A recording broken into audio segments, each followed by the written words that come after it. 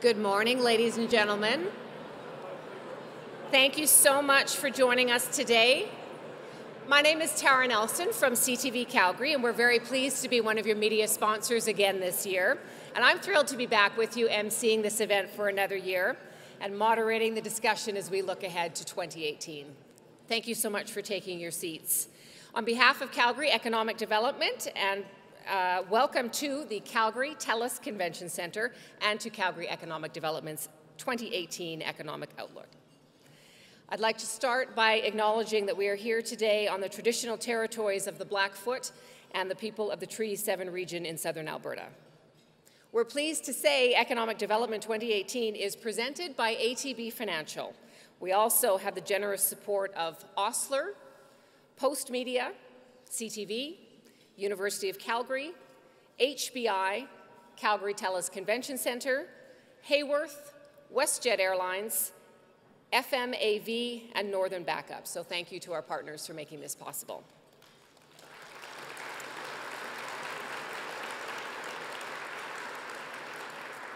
I'd also like to welcome a few of our special guests today, Robin Luff, NDP MLA for Calgary East, and from City Council, Peter Demong.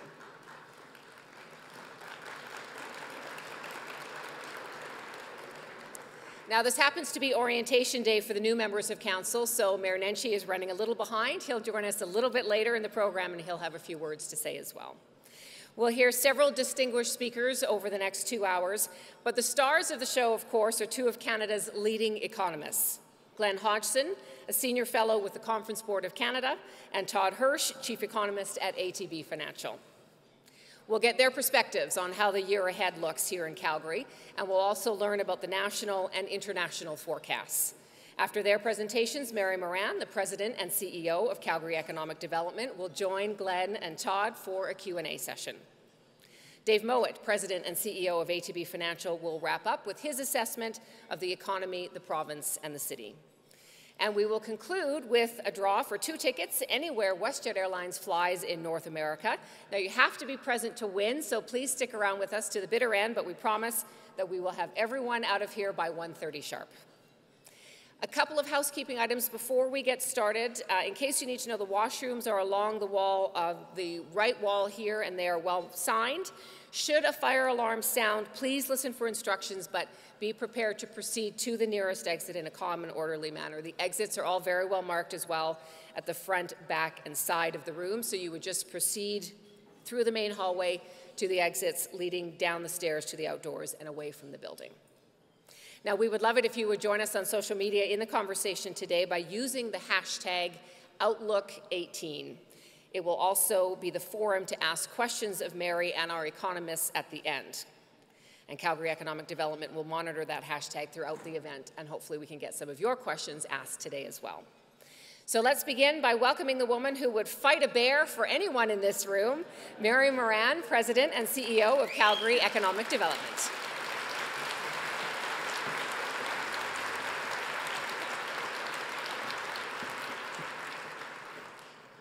Thank you so much, Tara, and uh, good afternoon, ladies and gentlemen, and welcome to Calgary Economic Development's Economic Outlook for 2018. I'm so glad the mayor isn't here now, because uh, I'm going to pull out the long version of my speech, so um, and not leave him enough time. So, um, but don't tell him. Before we get started, I want to acknowledge somebody very special in the audience. This person has humbly provided sage advice to Calgary Economic Development for several years. First, as the chair of the Economic Strategy Steering Committee, and now, for the last four years, as the chair of Calgary Economic Development. It is a true honor to work alongside of this man as he works diligently to make our community better and our organization better. And I was very pleased that his long-time community efforts were finally recognized. Earlier this month, Lieutenant Governor Lois Mitchell bestowed him with the most distinguished award any Albertan can receive, the Order of Excellence of Alberta. Please join me in congratulating the most deserving person in the room, my friend and my mentor, Steve Allen.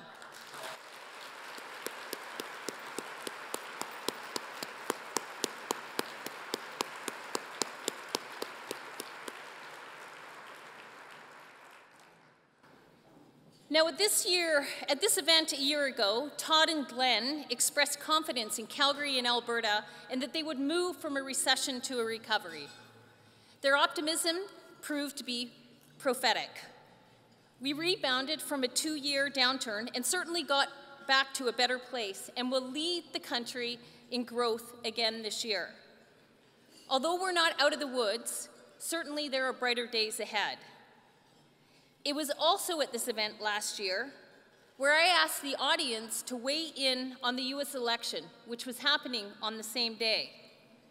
And I hate to tell you, but you were all very, very wrong. In all seriousness, since the US election, we have worked in a much more intense, with much more intense uncertainty. Uncertainty with NAFTA, uncertainty with immigration, uncertainty with US corporate tax rates, just to mention a few. Now, some of this might just be uh, hyperbole, but some of it can actually be devastating to our economy. This, combined with the uncertainty of the regulatory process to get pipelines approved or even pipelines completed, the opportunities, as we have known them just a few years back, are all seem so incredibly fragile. But I have to tell you, although these policy decisions and these political issues cause tremendous uncertainty and they require constant attention, it pales in comparison to the uncertainty that is being caused by rapidly changing technology. Technological uncertainty will have the much more lasting effect on all of our industrial sectors here in Calgary and Alberta. Let me explain why. The invention of the steam engine kicked off the Industrial Revolution, but that was an era of linear change and took generations to impact much of the world. Next, the development of electric power supported mass production, but the innovation was still quite linear. And then we hit the digital revolution in the late 1960s, and the use of electronics and IT automated production, but it took almost 50 years. And now, today, we're facing an unprecedented tsunami of dramatic disruption resulting from the convergence of three technological trends. The physical world, things such as 3D printing, the digital world, such as artificial intelligence and others, the virtual world, such as autonomous vehicles. We don't even fully understand the impact of one of these standalone technologies not to mention the convergence of three technologies coming together. Embracing leading edge technology or technologies and the associated uncertainty will leave massive opportunities in our industrial sectors. I can tell you, I watched this firsthand when I worked at TELUS. Coming from the wireless industry, Nokia spent an inordinate amount of time trying to manage the risk and they researched to see how they could create a telephone that was more compact but had more function. All of a sudden, with very little research, Apple came along and dropped down an iPhone. And they decided that in addition to the phone functions, they wanted to put a camera in it. And the world changed dramatically in how we live and how we work and use automation and digitization. So the next logical question we should all be asking ourselves here is, is Calgary ready for the force of technological change and its inherent uncertainty? I'd say from where I sit, the answer to this question is both yes and no. Yes, in the sense that in spite of what politicians in Ottawa say, and the fact they're always talking about the Toronto Waterloo corridors being the innovation centre in Canada, I believe Calgary has been the most innovative city over the last few decades. We do have the highest concentration of engineers and geophysicists here in Calgary. And we've come a long way from just drilling a hole and hoping for the best. We've advanced oil and gas extraction technologies to be more safe, more precise, and more predictable. We are definitely experts at managing risk here in Calgary and Alberta. We figured out how to go three kilometers down and five kilometers across and hit a bathtub size like target while only leaving a postage stamp size impression on the above the land above. If that's not sophisticated and complicated innovation, then I don't know what is. But we have to figure out a way to shift from being great and probably the world's best risk managers to actually living with uncertainty and the unpredictability of converging technologies. In order to do this, we have to continue to strengthen the links between government, private sector, and post-secondary, but we also need to ensure that policymakers and innovators alike are able to adapt and are nimble enough to respond to the new technologies and the velocity of which they are presented. Now, I'm not saying it's all bad here in Calgary. We've actually made amazing progress over the last year. In fact, the e innovation ecosystem is building out at a very rapid pace. And certainly, Calgary Economic Development is trying to do its small part.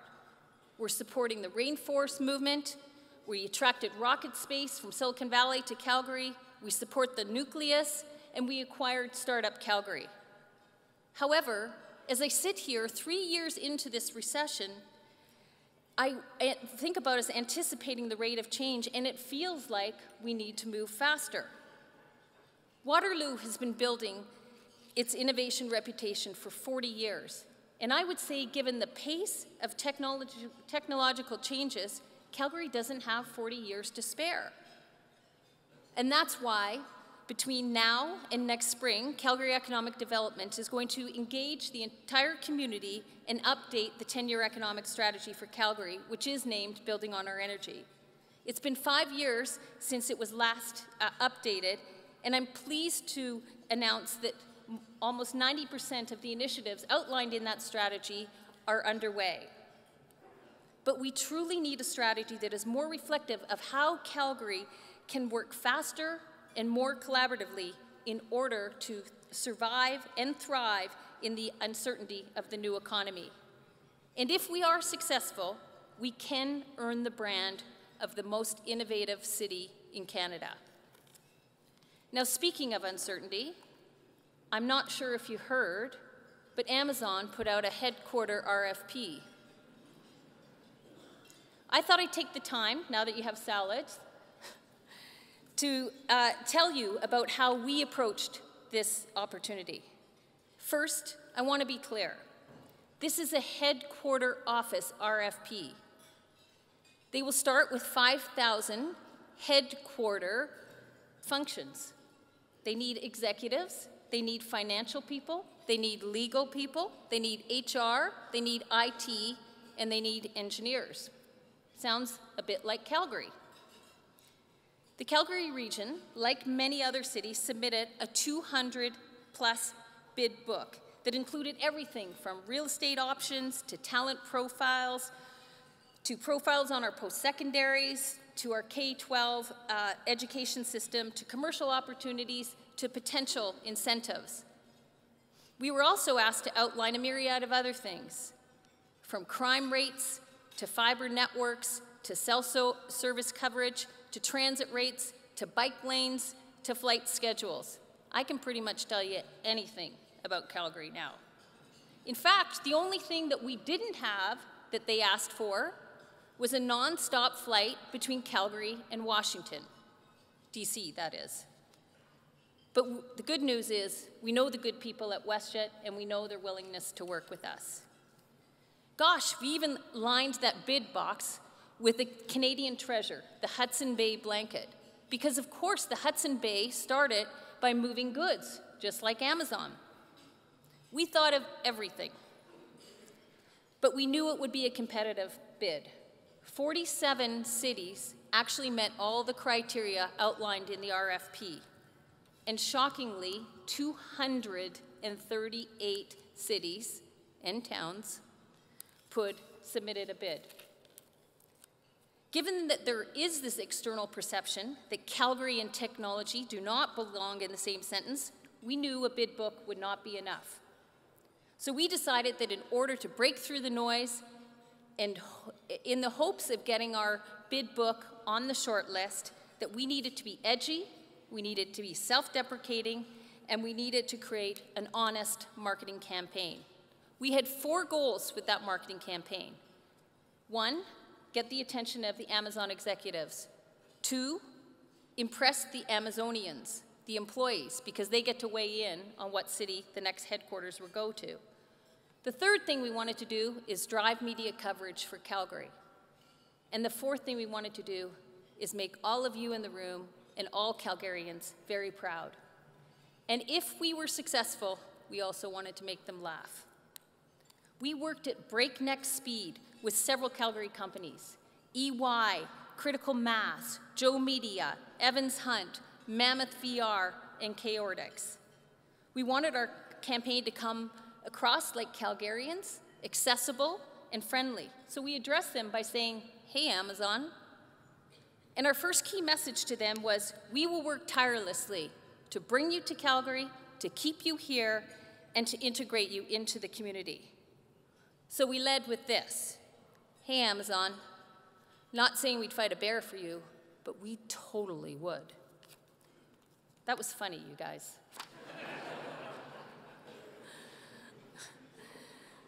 we also wanted Amazon to know that we are a welcoming city and a meritocracy. No one cares here who your parents were, what your ethnicity is, where you went to school, or what your sexual orientation is. So building a labor here, pool here in Calgary, unlike the US, will be easier. We also wanted them to know that people will come for the jobs, but like many of us, they will stay for the lifestyle. Now, I can assure you, nobody actually fought a bear at Calgary Economic De Development, but we certainly did think about it. In fact, our efforts didn't stop here at the campaign. We then invaded Seattle. We have a short video of how the night before the bid process or the bid submission was due went down and the day of the bid submission uh, in Seattle.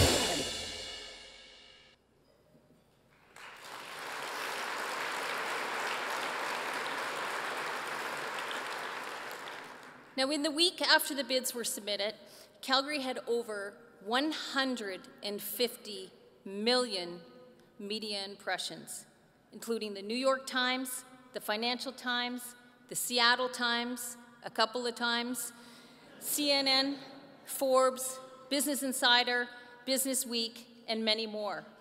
We actually even made it to the tech magazines.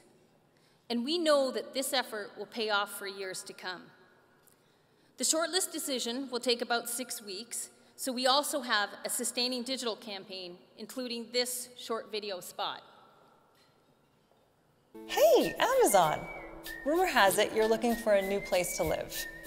Moving can be such a bear. I know what you're thinking. Calgary? Really? Isn't it way up north? Well, okay, sometimes it gets a bit chilly. But we've got loads of sunshine, and it's a good excuse for cuddling. Not to mention, other mountains are so jealous of our mountains. And all the best people are here. And flights from Seattle? One hour direct. We're basically neighbors. Our commutes are short, and bike lanes are everywhere.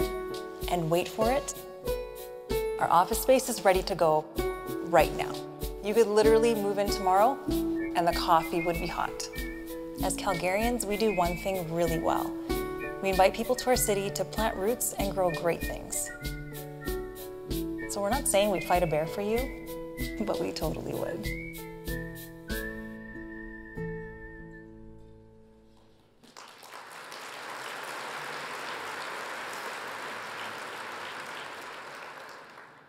I have to tell you, the most commonly uh, asked question that I get right after they ask about, are you doing an incentive, is why the bear? The answer is simple. Although the mayor has been the catalyst for perception change for Calgary for many years, he was busy campaigning. So we went with the bear. And frankly, bear, mayor, what's the difference anyway? Sorry, Chima. See, I knew we invited him late for a reason. The community support was amazing, though. We had over 100 letters from CEOs that we submitted in the big bid package. And then we also had about 1,500 people participating in our crowdsourcing uh, community, online community, giving us all kinds of ideas on how to pitch Amazon. For me personally, hearing almost 19,000 Calgary Flames fans at the Saddle Dome chant, Come on, Amazon, sent shivers down my spine. But I want to be clear. Calgary Economic Development is not just focused on the home runs into Amazon. Although it was really nice to be part of a rather large team that secured Amazon's fulfillment center in the Calgary region last week, resulting in 750 jobs, we're not putting all of our eggs in one basket. We, in fact, I've told this group, this, uh, this audience before, that we have well over 200 leads uh, in our pipeline right now. And over the last two years, Calgary Economic Development Team has been very focused. We have successfully attracted and supported the expansion of over 90 companies which have created 5,000 jobs in the region.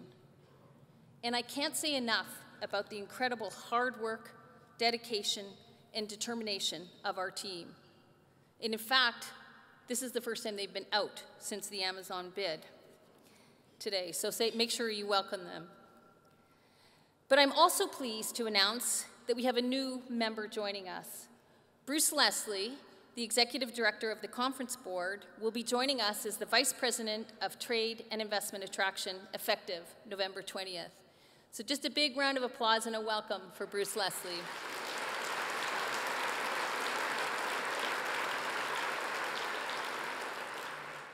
Calgary Economic Development strongly believes that Calgarians will build the future of the city. The renowned entrepreneurial spirit is going to be more important now than ever it ever has been. And our commitment to collaborate will keep creating certainty in a very uncertain world. By working better together, I'm confident that Calgary will soon be well known as the most innovative city in Canada. Thank you very much.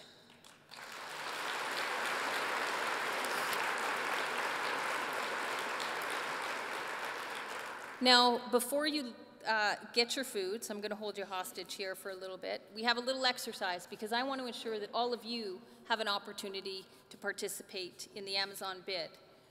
So I'd ask you to take out your phones and pick your favorite, don't get on Tinder or anything like that. but pick your favorite phone, your favorite picture of Calgary, and if it's this event, that's okay too, and text, uh, and send a text, or sorry, send a, a tweet to Amazon. And we ask you just to include a couple of things. Why it is your favorite spot, but also why Amazon would love it. And you can use any of these hashtags, HQ2, Amazon YYC, Love YYC, or Fight a Bear for you, and preferably all four if you can. I can tell you, I met with Amazon last week, and they had said to me, believe me, Mary, when you launched this campaign, there were lots of emails flying around within Amazon. And they also sent me an email on the weekend that uh, was from one of their executives sending a tweet saying, City of Calgary, we can't wait to fight a bear with you. Thank you very much.